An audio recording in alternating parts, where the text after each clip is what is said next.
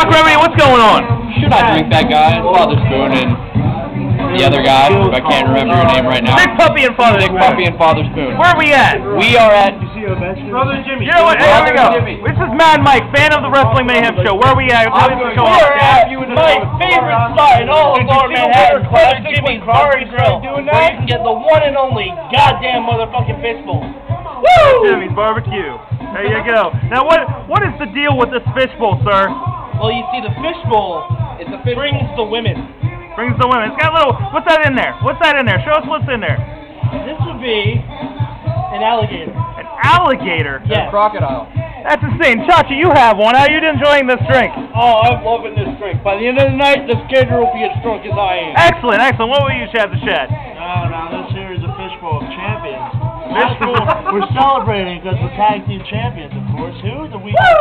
I'm gonna toast to that. The weekly fishbowl tag team Oh, champions. the weekly fishbowl. That's right. Take, take us out, Doc Right Remedy. Take us out.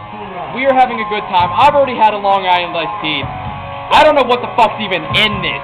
And it is so fucking delicious. Watch it, watch it. Three straws at a time. All right, it's time. Go, go, go, All right, go. there you go. Hey, hey. All right, that's right. hear that? Wrestling Mayhem Show. You hear that? Just having a good